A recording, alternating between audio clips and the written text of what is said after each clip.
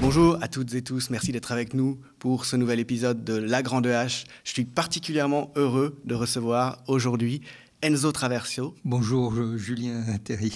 Historien euh, qui a enseigné en France à une époque, à Amiens. Aujourd'hui euh, enseignant à l'université de, Cornell aux États-Unis. Un historien qui tient une place toute singulière, me semble-t-il, dans le champ des études sur le monde contemporain.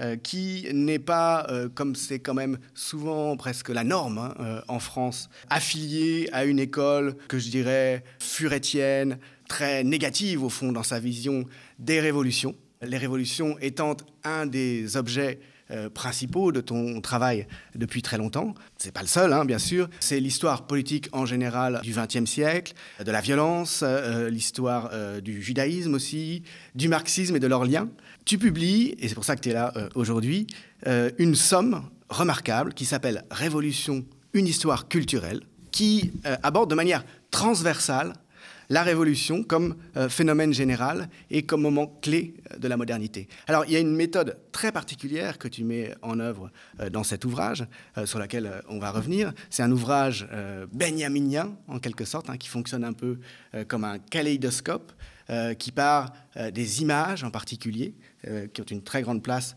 dans le livre. Une histoire culturelle, on va revenir sur ce que ça, sur ce que ça peut vouloir dire, mais c'est tout à fait quand même dans la ligne générale de ton travail euh, depuis très longtemps, d'emblée non seulement empirique, mais aussi tourné vers l'interprétation générale, sans avoir peur de la philosophie, sans avoir peur euh, de la théorie, pour rendre compte, hein, pas seulement en présentant les faits, euh, disons, de, des réalités historiques, euh, en assumant un point de vue qui n'est pas celui de la pseudo-neutralité, c'est-à-dire du centrisme. Hein.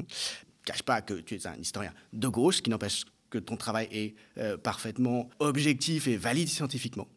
Ce qui caractérise en particulier ce livre, c'est qu'il aborde la révolution comme phénomène multiforme, sur un mode transversal. Il ne s'agit pas seulement des deux grandes révolutions canoniques et matricielles que sont la Révolution française de 1789 et la Révolution euh, bolchevique d'octobre 1917. Hein, le livre intègre aussi tous les événements de cette nature qui ont marqué la modernité de par le monde, avec euh, donc une démarche qui commence par euh, l'examen même de ce que c'est que la révolution. Qu'est-ce qui est constitutif d'une révolution? Qu'est-ce qui différencie une révolution, par exemple, d'une révolte? C'est quelque chose qui préoccupe euh, beaucoup les historiens des périodes éloignées. Hein. Euh, souvent, pour le Moyen Âge, par exemple, une période que je connais bien, on dit qu'il n'y a pas de révolution à proprement parler, en général, parce que euh, les révoltes sont ponctuelles et elles n'arrivent pas à se donner un programme politique, elles ne changent pas fondamentalement l'ordre des choses sur le long terme, les structures, quoi. Oui, je crois que cela vaut aussi pour euh, la modernité. La distinction euh, entre révolte et révolution est difficile à établir parce que toutes les révolutions naissent euh, comme révoltes. Les révoltes sont souvent des moments de crise euh, qui ont une durée limitée dans le temps, un caractère éphémère. Les révolutions sont des véritables euh, césures de l'histoire.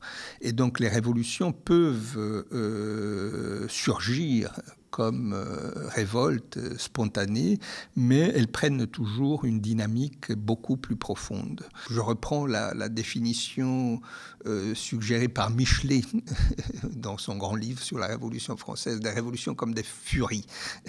des furies sont des moments dans lesquels tout bascule, tout change, l'ordre établi est renversé et euh, c'est l'avenir qui, qui devient un horizon ouvert et, euh, et dans, le, dans lequel on peut inventer le futur. Les révolutions sont ces moments assez exceptionnels, extraordinaires dans l'histoire, pendant lesquels les classes euh, dominées euh, soudainement prennent conscience euh, de leur force, de leur capacité à renverser l'ordre établi et deviennent un sujet euh, politique et historique. C'est le point de départ d'un processus dont on ne connaît pas l'aboutissement. Les révolutions sont des moments d'invention du, futur, de projection euh, de la société dans son ensemble vers le futur, d'ouverture, de, de création d'un nouvel horizon d'attente. Et la projection de la société dans l'inconnu en même temps.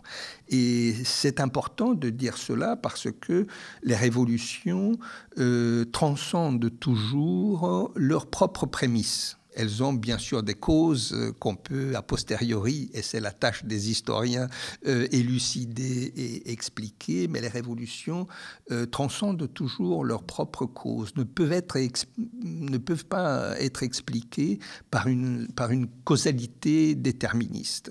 c'est le moment où c'est les êtres humains qui font l'histoire et, qui inventent le futur dans la manière dont, tu présentes l'historiographie euh, dès l'introduction, on trouve tout de suite cette, euh, opposition euh, entre lecture qui voit ça, ces révolutions, finalement seulement comme des ajustements structurels, en termes, pour le dire simplement, marxistes classiques, hein, au fond, et des lectures qui tentent de rendre compte d'une manière déterministe, finalement, du changement et euh, des lectures qui mettent l'accent euh, sur la part irréductible de l'événement, euh, sur la place des sentiments, des affects, des, individus qui se trouvent galvanisés et transformés d'une manière dont on ne peut pas rendre compte simplement comme ça, justement, de manière déterministe. Euh, certainement. Et c'est la raison du titre de mon livre, Une histoire culturelle. Euh, alors, l'édition anglaise, par exemple, s'intitule Une histoire intellectuelle. J'ai préféré pour l'édition française euh, utiliser ce titre, Une histoire culturelle, pour la raison que tu viens d'expliquer. On ne peut pas interpréter une révolution en se limitant aux idées, aux projets, aux stratégies qui l'ont inspiré ou accompagné. Les idées peuvent jouer un rôle important dans l'histoire de la révolution. Euh, il faut les comprendre, les étudier. Mais les révolutions sont des moments de euh, transformation de la société dans son ensemble. Et donc, euh, pour faire une révolution, il faut mobiliser des passions, il faut euh, mobiliser des, sentiments. Les révolutions affectent profondément les corps. il y a tout un chapitre, hein. un, chapitre du livre sur les corps. C'est des moments de libération des corps. Et c'est des moments aussi d'affrontement violent des corps, au sens physique on peut parler d'une biopolitique révolutionnaire dans, ce cas, qui n'est pas celle de, du pouvoir. Hein. Alexandra Kollontai, qui forge euh, au lendemain de la révolution russe sa théorie de, de, l'éros ailé, et donc comment la révolution est le moment euh, où euh, les femmes, euh, par exemple, euh, revendiquent leur droit non seulement à jouer un rôle dans la société, dans la culture, euh, dans la politique, euh, mais revendiquent le droit à euh, la satisfaction de leurs désirs. Et, et, très vite, lors de la guerre civile russe, cette pulsion libératrice, qui est même non seulement théorisée, mais qui commence à être mise en pratique, se heurte à d'autres contraintes qui sont celles d'une guerre civile, d'une économie qui s'effondre, d'une pauvreté qui, euh, qui devient endémique, euh, et, donc de la nécessité euh, d'introduire des formes de discipline du travail, des formes aussi de coercition. Qui, qui, affectent les corps. Et les révolutions sont toujours des euh, enchevêtrements euh, de, tendances, de pulsions, de, euh, projets, d'idées et de contradictions. Ce sont des faisceaux de contradictions. Et, et je pense que si on adopte la seule attitude valable, c'est-à-dire celle d'une distance critique qui va au-delà euh, de la stigmatisation euh, qui est celle de l'historiographie conservatrice ou euh, de l'idéalisation romantique, une empathie, qui garde une certaine distance critique, eh bien, il faut reconnaître les révolutions comme ces faisceaux de contradictions qui peuvent prendre des directions différentes. On ne peut pas savoir, euh, évidemment. Hein. Euh, on peut savoir seulement a posteriori et quelle, quelle, direction elles vont prendre.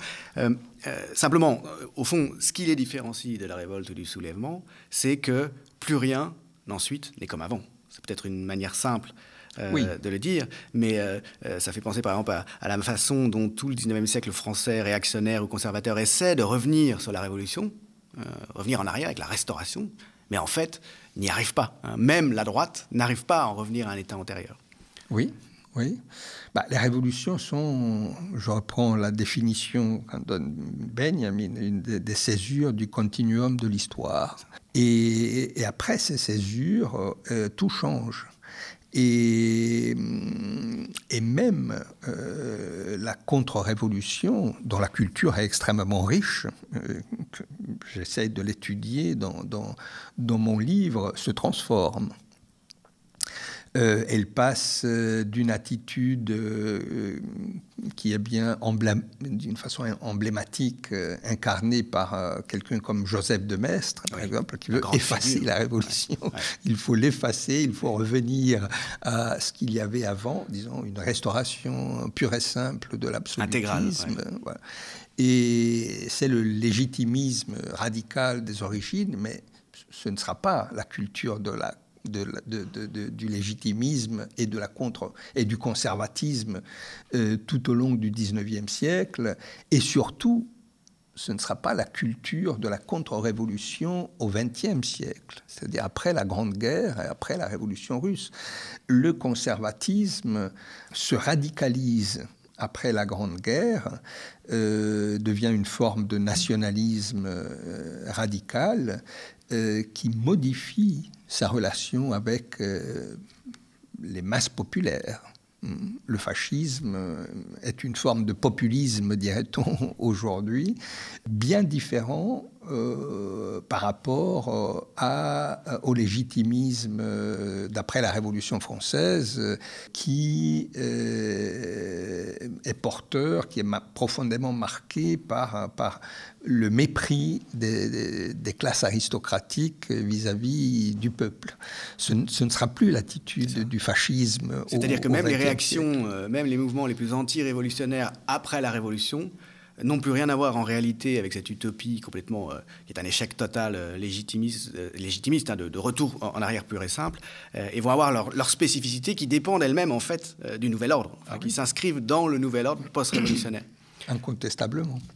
Ça nous connecte d'ailleurs à la question euh, que, tu, prends à bras le corps aussi, de savoir s'il y a des révolutions fascistes, euh, ou en tout cas, est-ce qu'on peut parler de révolution euh, pour euh, des, moments de mise en place euh, violente en général d'un ordre oppressif marqué par le conservatisme, marqué par l'embrigadement et pas du tout par les valeurs d'émancipation qui toutes, plus ou moins, on y reviendra, convergent vers le communisme, hein, en tout cas posent la question du communisme. Est-ce qu'il y a des révolutions qui ne sont pas avec cet horizon? Bah, Alors, le mot je dirais même le concept de révolution fasciste appartient à l'idéologie fasciste elle-même. Le fascisme italien revendiquait son caractère révolutionnaire euh, en 1932, dix ans après la marche sur Rome, euh, le fascisme organise en grande pompe les célébrations de l'anniversaire de la révolution fasciste. Les Allemands, eux, ils parlent de, les nazis, ils parlent de nationalsozialistische Revolution. Donc, euh, Et la France, la Révolution nationale oui, la Révolution nationale. la Révolution nationale. Du, du, du, régime de Vichy. alors, on ne trouve pas cette, ce concept dans l'Espagne franquiste, peut-être parce que le franquisme surgit euh, au cœur d'une révolution. Donc, euh, contre la révolution. En 1936, et entre 36 et 39, la révolution est bien située du côté euh, républicain. Et aussi peut-être parce que c'est un clérical fascisme qui est, qui, qui est quand même structuré par l'Église, et l'Église et les révolutions Ah oui, le, le, franquisme euh, est encore plus conservateur que le régime de Vichy. C'est une forme, les Espagnols disent, de national-catholicisme, euh, qui euh, assimile et incorpore la phalange, qui au départ était une vraie composante fasciste et, entre guillemets, révolutionnaire. Mais je dis cela parce que donc, le, le, concept de révolution fasciste appartient euh, à la rhétorique et au discours fasciste. Et ce n'est pas que de la rhétorique, c'est-à-dire le fascisme se vit comme une révolution, euh, parce que, à la différence du légitimisme qui veut restaurer euh, l'ancien régime, le fascisme veut instaurer un ordre nouveau. il, pose une critique du capitalisme, de la bourgeoisie, etc. Oui. Il ne la met pas forcément en acte, en réalité, mais il y a un discours là-dessus. Euh, oui, il y a un discours euh, qui n'est pas vraiment anticapitaliste, qui est anti-bourgeois, je dirais. Anti-bourgeois à partir d'une définition très particulière de la bourgeoisie, non pas comme classe euh, au sens économique du terme, mais la bourgeoisie comme une classe parasitaire, une classe qui n'incarne pas les vertus populaires, etc. Et souvent, ce discours anti-bourgeois, entre guillemets, euh, euh, prend la forme d'un discours antisémite, c'est-à-dire euh, la bourgeoisie identifiée à, tout ce que, disons, à tous les stéréotypes de l'antisémitisme.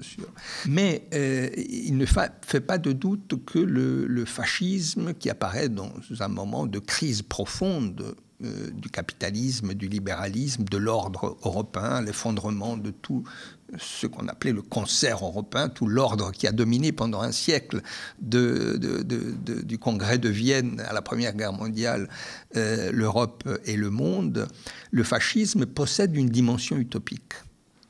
Le fascisme classique. Et ça, c'est une des grandes différences par rapport euh, à la vague des droites radicales que j'appelle post-fascistes d'aujourd'hui, qui sont beaucoup plus conservatrices et beaucoup moins révolutionnaires. Il y a, dans les années entre les deux guerres, une sorte de compétition entre fascisme et communisme dans le recours à une, une, rhétorique révolutionnaire.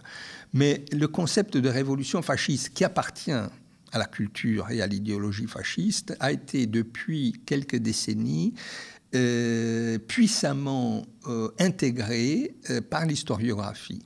Désormais, le concept de révolution fasciste est central dans l'historiographie du fascisme. Des grands historiens comme George Moss, Zev Sternel euh, en langue française ou Emilio Gentile en Italie parlent tous de révolution fasciste. Or, euh, je ne peux pas m'empêcher de faire le constat que euh, avant 1989, c'est-à-dire avant la fin du XXe siècle, euh, la chute du communisme, l'historiographie hésitait à reprendre en tant que catégorie hum, analytique, en tant que, que, outil herméneutique, disons, cette formule qui appartenait à la rhétorique fasciste. Parce que euh, si le fascisme parlait de révolution, euh, la révolution fasciste était une révolution violemment et radicalement opposée à la révolution communiste. Et donc, euh, justifié même souvent ben par, la, par la, défense contre le communisme. Cette révolution fasciste était en même temps une contre-révolution. et, et euh, euh, toute la culture du XXe siècle, euh, dominée par la tradition antifasciste, n'a jamais pu accepter la notion de révolution fasciste. Quand j'avais 20 ans, il allait de soi que le fascisme était une contre-révolution et pas une révolution. il n'y avait que très peu d'historiens d'extrême droite qui utilisaient cette, notion. Aujourd'hui, le paysage a changé. Et euh, euh, simultanément à cette euh, légitimation du concept de révolution fasciste dans le champ historiographique, on assiste à une remise en cause progressive de l'usage du concept de révolution pour analyser euh, un ensemble d'expériences historiques qui habituellement avaient toujours été qualifiées de révolution. La révolution spartakiste dans l'Allemagne de janvier 1919, puis la révolution des conseils en Bavière en 1919, à, Budapest, où la, guerre civile espagnole était une révolution. il y a, il y a je ne sais pas combien de témoignages d'œuvres littéraires, de films qui nous, qui nous montrent la révolution euh, lors de la guerre civile espagnole. Aujourd'hui, les révolutions en Europe centrale euh, sont plutôt analysées euh, sous le concept de nation building, mm-hmm. Un, processus de, de transformation de l'architecture institutionnelle d'Europe centrale après l'effondrement des empires multinationaux, etc. Construction nationale, quoi. Et la, et la guerre civile espagnole est souvent analysée à travers le prisme du génocide. Un des, grands livres parus au cours de ces dernières années sur la guerre civile espagnole s'intitule L'Holocauste espagnol. Une guerre d'extermination. Euh, donc cela, cela montre, et, aussi pour des bonnes raisons, parce que euh, il y a cette dimension exterminatrice dans, dans, la répression franquiste euh, qui mérite d'être reconnue et qui doit être reconnue et qui mérite d'être étudiée en profondeur. Mais tous les, les, exemples que j'indique montrent à quel point euh, euh, la manière avec laquelle s'écrit l'histoire est profondément liée euh, à certaines dynamiques de la mémoire collective. Donc du présent. Et donc du présent. Donc du présent. Une époque contre-révolutionnaire comme la nôtre, c'est-à-dire l'époque qui s'ouvre au début au cours des années 80, mais mhm. disons qui s'ouvre après la fin de la guerre froide. Qu'on a souvent désigné comme révolution conservatrice, encore une fois, en retournant les mots. La révolution conservatrice en cours, euh, mais qui est en fait contre-révolutionnaire fondamentalement. La révolution conservatrice remet en cause euh, les, euh, les révolutions telles qu'elles ont réellement existé. Et non seulement cela, mais il me semble que au cours de ces dernières années, quand il y a des vraies des révolutions authentiques qui apparaissent, on a tendance à les exorciser. Plutôt que parler des révolutions arabes, le printemps arabe, comme pour euh, le, euh, dire, le, rendre euh, plus doux et acceptable. parce qu'il y a eu tout un travail justement néo-conservateur de, disqualification de la notion de, révolution avec cette ou, idée. même a posteriori, la, la, révolution des jasmins ou des œillets pour pour gommer cette dimension de furie dont on parlait tout à l'heure que possèdent les révolutions, qui veulent mettre fin à l'ordre et par tous les moyens. Et hum, la question de la violence, si on veut historiciser les révolutions, n'est pas une question de euh, philosophie euh, politique ou de philosophie morale. Bien sûr, il y a ceux qui fétichisent la violence, euh, que sais-je, Sorel par exemple, ou il y a les pacifistes de principe, position qui n'est pas la mienne, mais que je respecte. Mais si on veut interpréter et comprendre les révolutions, ce n'est pas comme cela qu'il faut les analyser.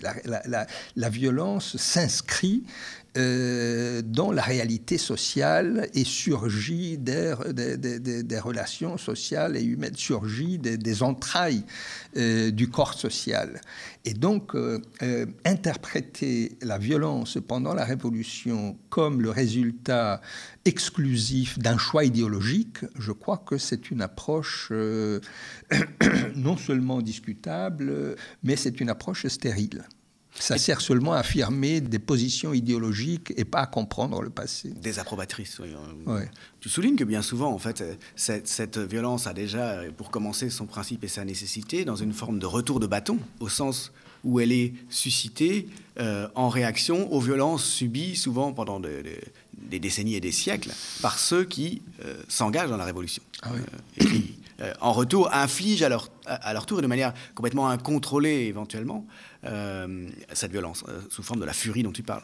Oui, alors il y a une, une, expression forte d'un grand historien français qui, fait de l'anthropologie historique, Alain Corbin, qui, analysant la violence de la Révolution française, euh, parle des pulsions euh, de, la foule massacreuse. Hein. Ces pulsions dionysiaques, dans la masse des, défilés populaires euh, dans lesquels la tête des aristocrates est portée, évidemment, ne peut que horrifier a posteriori. Et, cela vaut aussi pour le XXe siècle. L'historiographie de, la résistance comme guerre civile, par exemple. Mmh. Claudio Pavone a écrit un grand livre sur ça.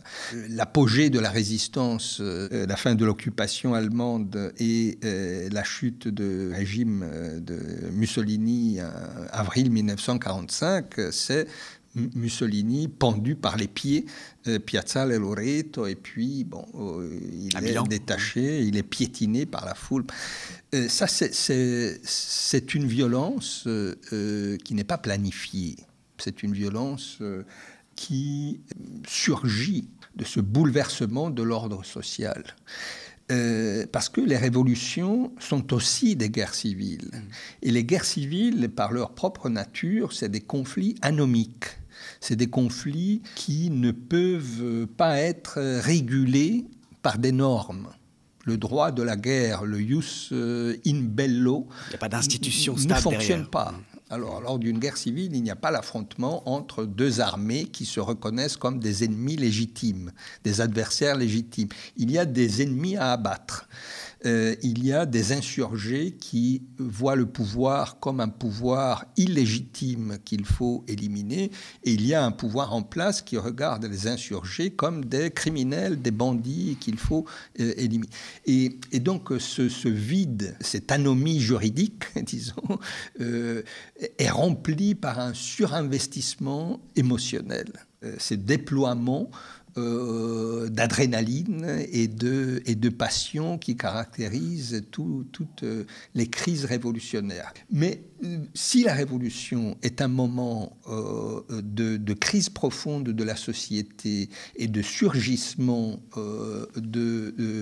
d'émotions, de, pulsions, de désirs, de sentiments qui s'articulent avec des projets et des stratégies politiques, eh bien, les révolutions ne peuvent pas être analysées et interprétées par les catégories du libéralisme classique.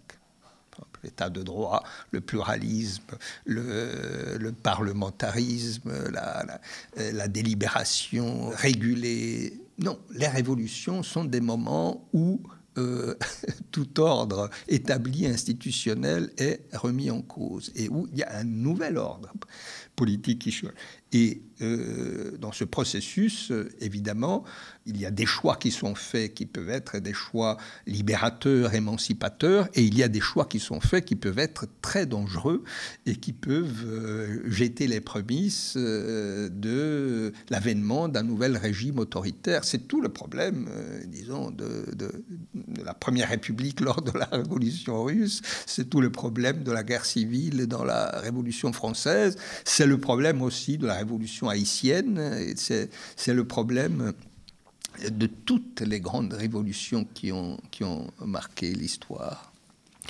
C'est la question, euh, euh, que faire pour arrêter la révolution? En quels termes euh, Comment est-ce que la révolution doit s'arrêter? Qui décide qu'elle s'arrête et pour laisser place à quoi? Oui. Alors, a posteriori, c'est toujours facile de reconnaître des erreurs qui ont été commises. Et, c'est pour cela que je me méfie d'une historiographie qui prétend donner des leçons. Euh, rétrospectives.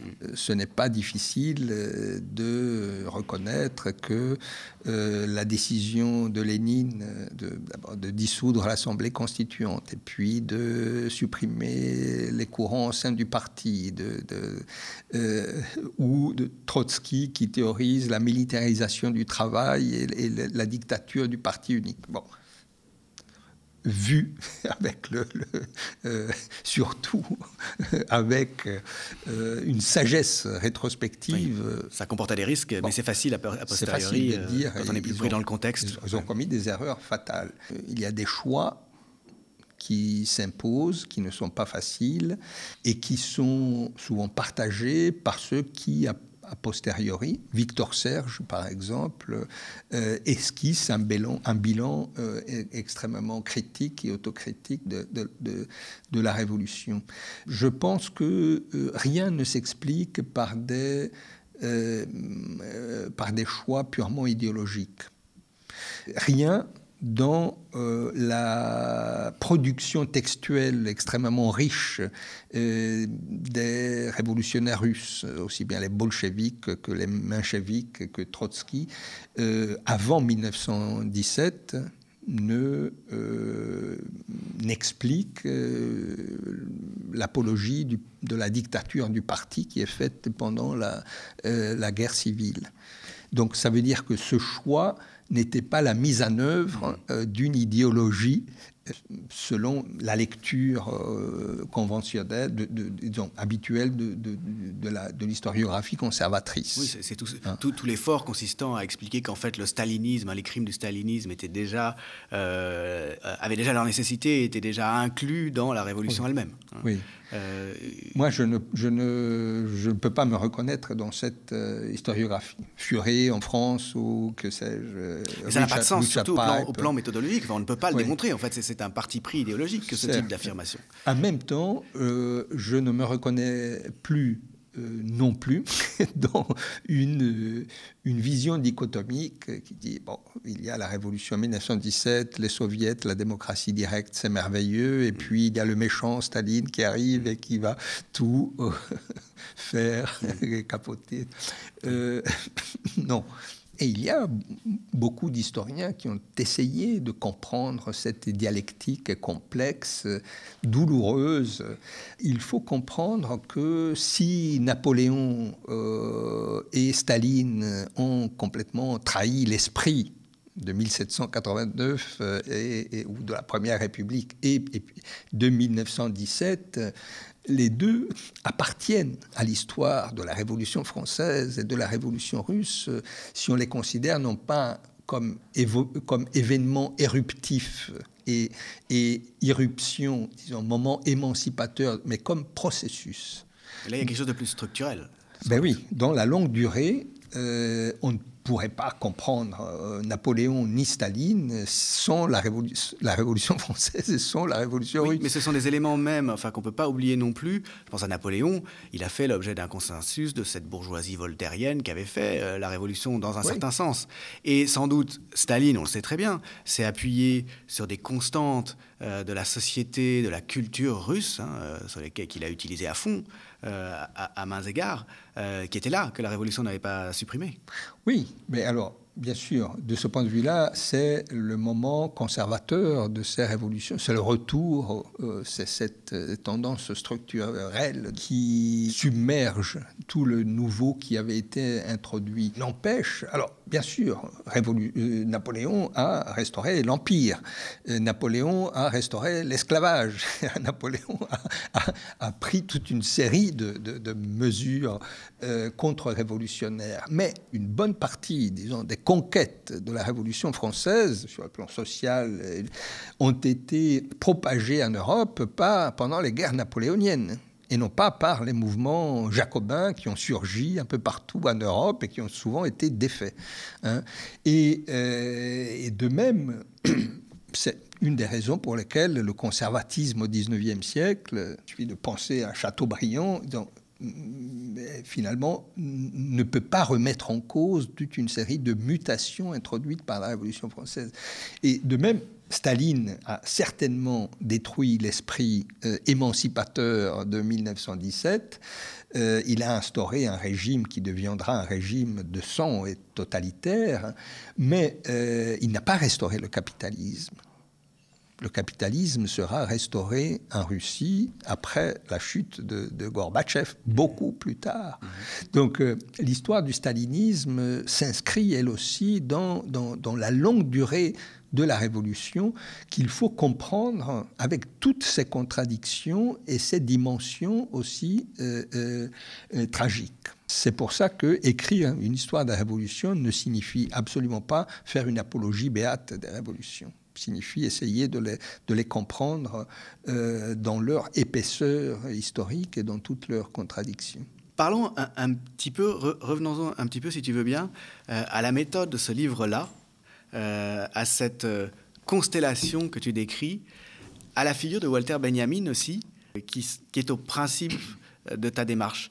Euh, c'est pas forcément quelqu'un, Benjamin, que le grand public euh, connaît bien. Pourquoi est-ce qu'il est là derrière et en quoi euh, est-ce que euh, son travail informe un peu le tien? Walter Benjamin n'est pas Max Weber, n'est pas euh, Bourdieu, n'est pas euh, Marx non plus, c'est-à-dire des penseurs euh, qui nous ont proposé un ensemble de concepts opératoires. Et systématiques, hein, au fond. Et systématiques. C'est aux antipodes de cela. il nous offre une philosophie de l'histoire, une, une, une, conception de l'histoire qui est radicalement antipositiviste il pense, euh, c'est un penseur de rupture et, non pas du continuum de l'histoire, ce qu'il appelle euh, euh, l'historicisme. Pour lui, c'est une temporalité, il dit, homogène et vide. les révolutions sont tout le contraire. Hmm.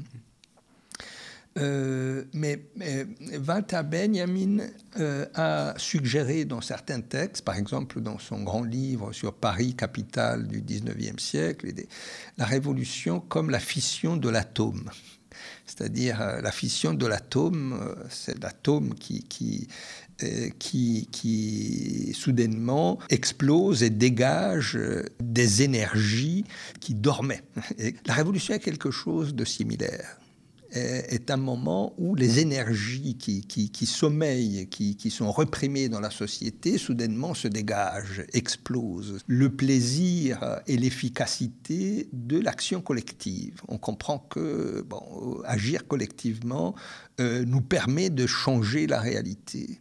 Donc euh, l'esprit révolutionnaire est exactement aux antipodes du modèle anthropologique euh, néolibéral qui domine aujourd'hui, l'individualisme, la compétition, le marché, etc.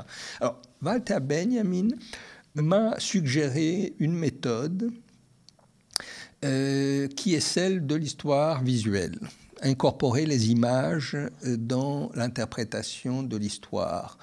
des images qui sont à la fois des sources, des sources comme les textes écrits, comme euh, des objets matériels, les sources avec lesquelles travaillent les historiens, mais aussi comme euh, ce qu'il appelait des, euh, Denkbilder, des, images de pensée, des images qui contiennent, expriment euh, et, rendre, et rendre euh, euh, visible et compréhensible un concept.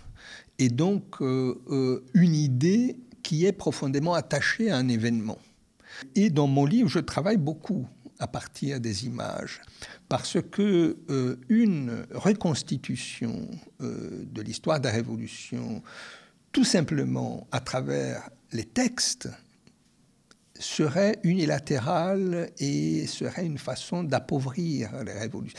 Et serait même euh, une manière euh, parfois de, les aborder par un, miroir déformant. Et pourtant, la littérature révolutionnaire, depuis la Révolution française jusqu'à la fin du XXe siècle, est d'une richesse extraordinaire. Euh, il y a une production textuelle dans tous les continents, dans toutes les langues, qui est, qui est absolument extraordinaire. Mais l'imaginaire collectif est beaucoup mieux capturé, saisi euh, par des images. Et c'est aussi la raison pour laquelle les révolutions sont toujours la matrice des avant-gardes, des fabriques d'utopie euh, et, et, le moment de départ de, courants littéraires, euh, esthétiques dans la peinture, le cinéma, produisent souvent une iconographie extrêmement riche. Et Elle relance les forces créatrices. oui. Il y a des effets de ce point de vue-là. Des forces créatrices, c'est cela. Alors, dans mon livre, je donne des exemples. Par exemple, il y a tout, tout un, Le premier chapitre tourne autour des locomotives de l'histoire, de cette image de Marx des révolutions comme les locomotives de l'histoire. C'est une métaphore qui est très souvent citée, mais qui n'est pas analysée. dans la plupart des cas. Or, cette métaphore est extrêmement révélatrice, révélatrice d'un imaginaire collectif qui est celui du, du 19e siècle, qui est révélatrice d'une conception qui est celle de, Marx et de, large, aussi d'une bonne partie du socialisme utopique, du rapport entre euh, la révolution et la technique, et euh, c'est une image, une métaphore qui euh, intègre une nouvelle conception euh, du travail qui, que Marx élabore dans le Capital, le passage de, du travail comme relation métabolique entre l'homme et la nature, et, donc, euh, le travail comme moment dans lequel les êtres humains savent façonner la nature, même dominer la nature jusqu'à un certain point, mais, mais toujours le travail euh, implique une, une relation d'appartenance mmh. des êtres humains à la nature, et on passe à la force de travail, qui est celle des locomotives, le Arbeitskraft dans le, le Capital, c'est-à-dire un pouvoir euh, de transformation de la réalité qui s'émancipe euh, de la nature euh, humaine et de, la, production en quelque sorte de, la force comment dire des corps des corps l'énergie et le travail humain ou animal hein, les animaux qui sont, qui sont appliqués à la production, eh bien, tout, tout, tout, tout effort physique a des limites. on nous ne pouvons pas travailler 20 heures de suite. Au bout d'un moment, on doit s'arrêter euh, pour se restaurer, se reposer. Euh, alors qu'une machine, non, une machine euh, peut travailler en permanence. Et, la locomotive est, aussi un peu le, miroir de cette nouvelle. et il y a derrière une philosophie de la technique que l'on trouve chez Marx qui est très ambiguë, euh, parce que Marx euh, est souvent cité par les théoriciens de l'écosocialisme, par exemple, comme, comme quelqu'un qui, dès le 19e siècle, au lendemain de la révolution industrielle, au début du capitalisme industriel, a euh, su percevoir, disons, toute la dimension de destruction de la nature liée au capitalisme. Oui. Et a posé le problème euh, du rétablissement, du socialisme comme rétablissement d'une relation harmonieuse entre, les, humains et la nature. Mais il y a chez Marx aussi l'idée du socialisme comme une société de libération totale euh, permise par euh, ce développement inépuisable des forces productives fondées sur les machines et la technologie qui serait, disons, la fin dans cette vision de toute aliénation. Et, donc, euh, il y a déjà là les prémices euh, de tout ce qui nous apparaît aujourd'hui comme un productivisme dangereux. Donc, euh, les locomotives de l'histoire sont une métaphore d'une extraordinaire richesse pour euh, les potentialités et les dangers euh, qu'elle contient. Mais il y en a d'autres, euh, que sais-je, Marx qui parle de la commune de Paris comme de l'assaut du ciel. Hein l'assaut du ciel, prendre le ciel, den Himmel zu stürmen.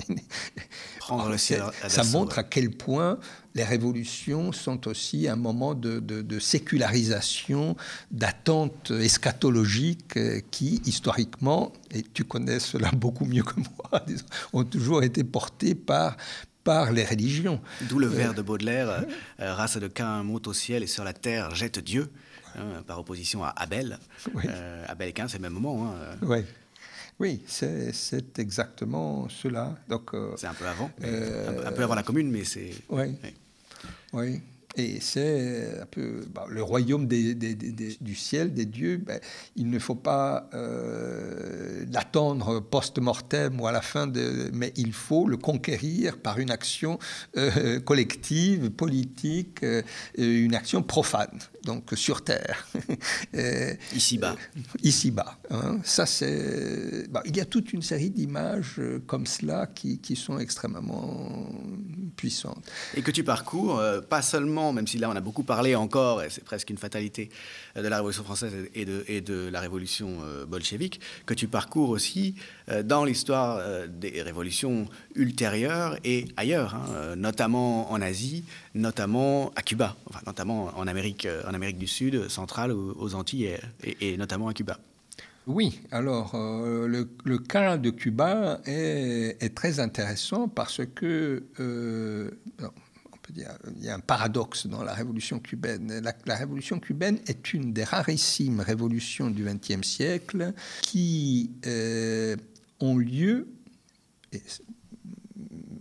il faudrait ajouter la révolution mexicaine, mais qui est parallèle à la qui est simultanée de la révolution russe. Euh, la révolution cubaine est une des rarissimes révolutions du XXe siècle euh, qui échappe dans euh, son déroulement, sa conception et sa mise en œuvre qui échappe à une sorte de paradigme militaire de la révolution qui est forgé par la révolution russe. Les euh, Castro, euh, Che Guevara, Camilo Cienfuegos, le mouvement du 26 juillet, c'est un mouvement de jacobins radicaux. C'est un mouvement de démocrates révolutionnaires. Ce n'est pas un mouvement communiste ou socialiste. Euh, mais euh, dans le contexte de la guerre froide, dans le contexte de la révolution cubaine, en une année, devient une révolution communiste. n'a pas le choix. elle, elle n'échappe pas aux contraintes de son époque. Et elle intègre ce modèle bolchevique, elle intègre une idéologie euh, et elle devient un moment central euh, dans cette lutte entre communisme et capitalisme qui est, euh, l'histoire de bah, l'histoire du XXe siècle. J'essaie de montrer dans un chapitre de mon livre comment, par exemple, la révolution cubaine, la révolution mexicaine, pardon, est une révolution qui réinterprète, on pourrait dire, la métaphore euh, marxienne des locomotives de l'histoire. Parce que euh, lors de la révolution mexicaine, euh, les trains jouent un rôle très important des deux côtés. Hein, des deux côtés. Et les, les zapatistes, pas les néo-zapatistes qui sont apparus, mais les zapatistes, disons, des origines. De l'époque de Zapata. Voilà.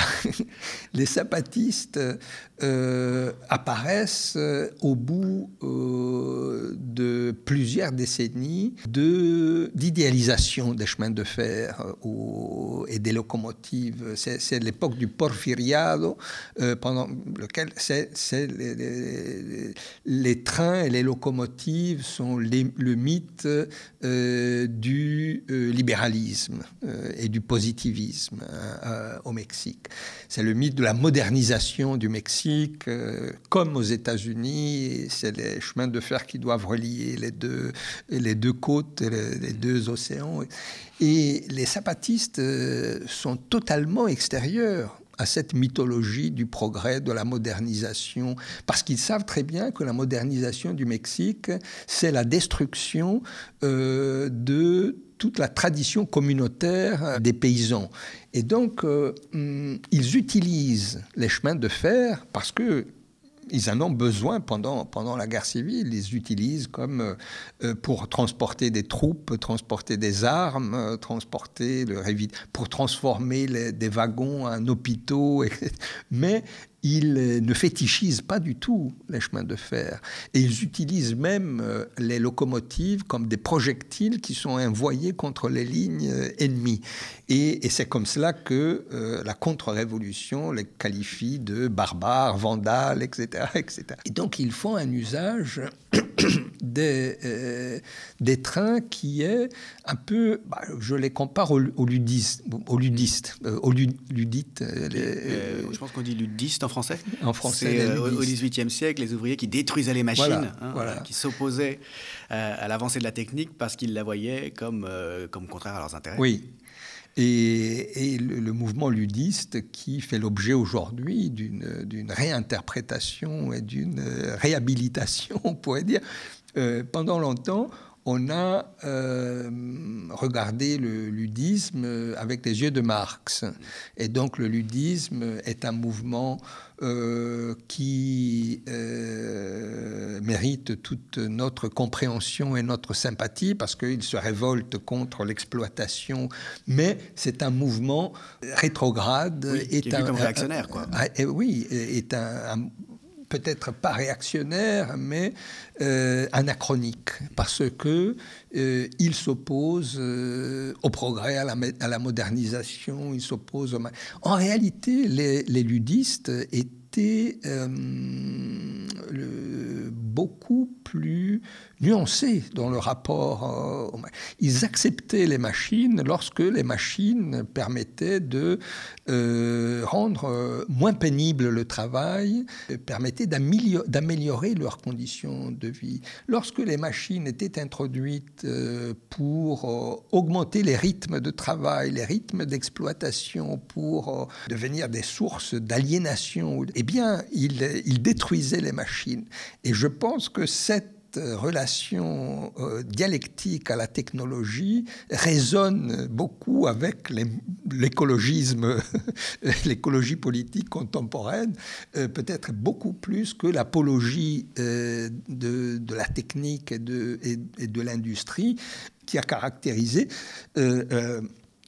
pendant longtemps l'histoire du marxisme avec ce, cette idée, les, plans quinquennaux, euh, l'industrialisation, la, modernisation comme la clé euh, de toute émancipation, de toute libération et du socialisme. Dans le mouvement des, Gilets jaunes, euh, puisqu'on parlait d'image et de la méthode que tu utilises, très centrée de manière benjaminienne sur les images, comme un, kaléidoscope d'images de la Révolution. Pendant le, mouvement des Gilets jaunes, on a vu beaucoup d'images euh, de guillotines, hein, euh, spontanément érigées sur les ronds-points.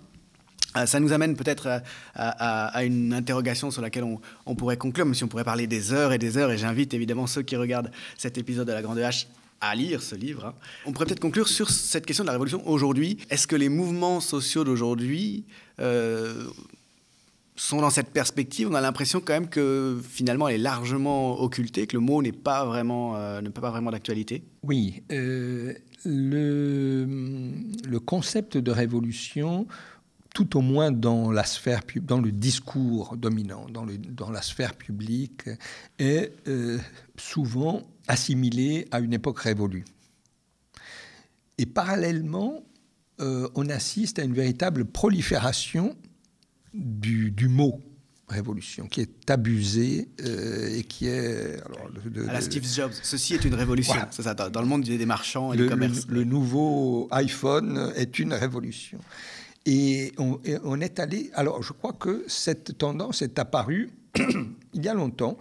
Euh, en France, euh, lors du bicentenaire de la Révolution française, on a assisté à cette campagne publicitaire, partout, on parlait de révolution dans toutes les sauces, et le mot révolution ne voulait plus strictement rien dire. Donc révolution était un mot galvaudé et, usurpé pour mieux enterrer la révolution. Et on l'a vu il y a cinq ans, euh, lors des élections présidentielle de 2017, euh, Emmanuel Macron, qui aujourd'hui est perçu par l'opinion internationale comme l'incarnation du néolibéralisme, il a mené sa campagne électorale en publiant un livre intitulé Révolution. Donc euh, Révolution est un mot euh, qui est en train de, de, devenir un signifiant vide. Hein. Et quand il y a des révolutions, parce que au, 20e, au 21e siècle, il y a eu des. Il y a, il y a eu des révolutions arabes qui ont été une vague révolutionnaire qui, qui, qui a euh, déferlé euh, et, euh, le concept de Trotsky de révolution permanente redevient tout à fait pertinent. Les révolutions tendent à dépasser les frontières d'un pays et, à s'élargir, à, à se répandre sur toute une, une ère, une région. On assiste aujourd'hui à ce qui, est en train de devenir une révolution en Iran. Alors, elle ne l'est pas encore parce que le régime est encore en place. Mais elle, monte, elle s'ouvre, on a l'impression. Et, le régime donne les signes d'une crise. Euh, donc, je pense que, que, que, le concept de révolution doit être euh, utilisé comme un concept opératoire pour le, le siècle à venir. Euh, cela n'empêche qu'on hésite à l'utiliser et surtout les mouvements qui sont apparus au cours des 20 dernières années à l'échelle globale. Tu, citais les Gilets jaunes en France, mais il y a eu avant euh, la Nuit debout. et il y a eu, que sais-je, Occupy Wall Street, beaucoup de mouvements de, ce genre. Ces mouvements euh, s'inscrivent dans aucune continuité avec les révolutions du passé. Les révolutions arabes elles-mêmes euh, ne revendiquaient pas l'héritage euh, du socialisme, du communisme ou du panarabisme, est-ce que c'est du nasserisme en, Égypte, par exemple. Ça aurait pu, euh, Est-ce que c'est une faiblesse à tes yeux Est-ce que c'est une, une, impossibilité à faire exploser le passé dans le présent, comme, comme Benjamin le recommandait précisément? Ben alors, je pense que euh, il y a des raisons à cela. Il faut s'interroger sur euh, pourquoi, sur le fait que, tous ces mouvements euh, qui présentent des, des, potentialités révolutionnaires incontestables ne se revendiquent pas des révolutions du passé.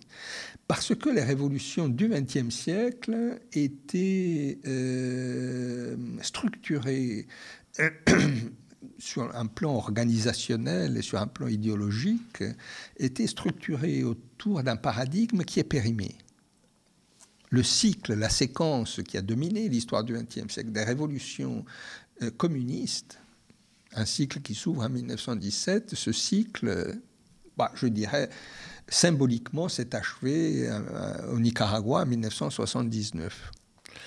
Et et tous les mouvements qui sont apparus après euh, avaient conscience, ou disons, euh, consciemment ou inconsciemment, euh, montraient que ce modèle n'était plus opératoire, qu'il fallait inventer quelque chose de nouveau.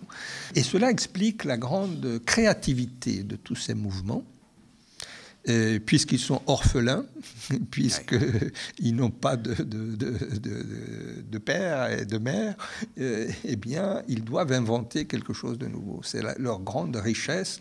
Et la pensée critique de ces dernières décennies est sans doute beaucoup plus riche euh, que celle qui existait il y a un siècle. Hmm. Mais ces mouvements n'ont pas encore réussi à forger un nouveau modèle. Et, ce qui pèse, je pense, euh, sur euh, tous ces mouvements, alors parfois c'est le cas des Gilets jaunes, comme tu le disais, ils ne descendaient pas dans la rue avec des drapeaux rouges. Non, pas, du tout. Et ils, n'avaient pas dans leur slogan dans leur, euh, une reprise de la tradition communiste ou socialiste. Mais il y avait cette référence à la Révolution française. Une imagerie. Voilà. Il y a un président qui est une sorte de roi illégitime et il faut lui couper la tête. Donc euh, la Révolution continue de travailler l'imaginaire euh, collectif. Donc euh, si on n'arrive pas à forger un nouveau modèle, je pense que cela est lié aussi au poids de la défaite des révolutions du XXe siècle et au fait que euh, le XXIe siècle est né sans un horizon d'attente, sans une utopie. Et cela paralyse l'imaginaire. Euh, on a peur du futur. Cette séquence euh, que j'évoquais tout à l'heure euh, se termine avec la révolution au Nicaragua, mais se termine aussi avec la tragédie du Cambodge. Et, donc. Euh, la dérive d'une révolution en génocide. Ben oui. et cela, a, il y a un effet cumulatif. On peut dire le slogan qu'avait euh, forgé Rosa Luxembourg euh, pendant la Première Guerre mondiale, socialisme ou barbarie, est d'une actualité surprenante. Disons, nous sommes confrontés au même dilemme soit nous continuons de l'avant et euh, nous avons la certitude d'aller vers la catastrophe, c'est-à-dire euh, une catastrophe qui signifie une remise en cause des conditions de survie de, l'humanité sur, Terre, ou euh, on change de route et on pense à un nouveau modèle de civilisation, socialisme ou barbarie cette alternative est d'une très grande actualité. Reste le fait qu'on ne peut pas reprendre euh, ce slogan aujourd'hui euh, comme il y a un siècle, parce que entre-temps, le socialisme lui-même est devenu un visage de la barbarie. Et cela montre toutes les difficultés à forger un nouveau modèle pour le, siècle à venir. Donc euh, le travail que peuvent faire des historiens, c'est de, transmettre la connaissance, une connaissance critique, pour nourrir un peu une réflexion euh, sur euh, le rapport des mouvements du présent avec les révolutions du passé. Et pour cela, cette somme, cette constellation que tu nous livres est particulièrement utile, me, semble-t-il. Merci beaucoup. Merci à Enzo Traverso, d'être venu nous présenter cette histoire culturelle de la Révolution à la Grande Vache. Merci.